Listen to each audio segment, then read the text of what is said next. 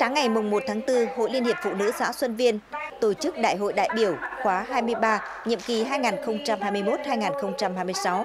Dự đại hội có Chủ tịch Hội Liên hiệp Phụ nữ huyện Nguyễn Thị Thu Trang. Trong nhiệm kỳ qua, cán bộ hội viên phụ nữ xã Xuân Viên đã đoàn kết thống nhất, bám sát nhiệm vụ chính trị của địa phương, của hội phụ nữ cấp trên, chỉ đạo có trọng tâm trọng điểm, cụ thể hóa các hoạt động gắn với tình hình thực tế của địa phương. Hoạt động hội được đổi mới, tổ chức hội có bước phát triển, chất lượng hoạt động không ngừng được nâng lên.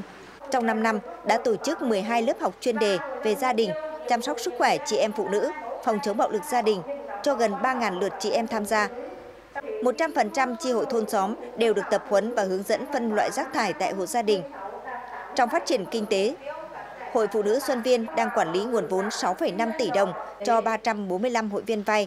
Từ nguồn vốn này, nhiều chị em đã thoát nghèo và có cuộc sống khá giả hơn huy động nguồn quỹ đóng góp tại các chi hội được gần 150 triệu đồng cho chị em nghèo vay không tính lãi để phát triển kinh tế gia đình.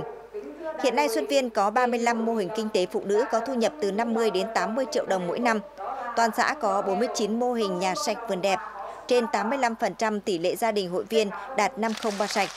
Tỷ lệ hộ nghèo giảm từ 5% đầu nhiệm kỳ xuống còn 2,66% cuối nhiệm kỳ. Trong nhiệm kỳ, Phụ nữ Xuân Viên cũng đã trao 650 xuất quà trị giá gần 100 triệu đồng cho chị em phụ nữ có hoàn cảnh khó khăn, bị ốm đau bệnh tật. Trong xây dựng nông thôn mới, nhiệm kỳ qua Hội Phụ nữ xã Xuân Viên đã đóng góp 54 triệu đồng cùng với hàng ngàn ngày công để săn lấp mặt bằng, láng lề đường giao thông, trồng cây xanh, chỉnh trang khu dân cư nông thôn mới, chỉnh trang vườn hộ. Trong nhiệm kỳ tập thể cán bộ, hội viên phụ nữ Xuân Viên đã được Trung ương Hội Liên hiệp Phụ nữ Việt Nam tặng 3 bằng khen Hội Liên hiệp Phụ nữ tỉnh Hà Tĩnh tặng 4 bằng khen. Đại hội cũng đã sang suốt lựa chọn và bầu thành công Ban chấp hành Hội Liên hiệp Phụ nữ Xuân Viên nhiệm kỳ 2021-2026 gồm 10 đồng chí và bầu đoàn đại biểu đi dự Đại hội Hội Liên hiệp Phụ nữ huyện Nghi Xuân nhiệm kỳ 2021-2026.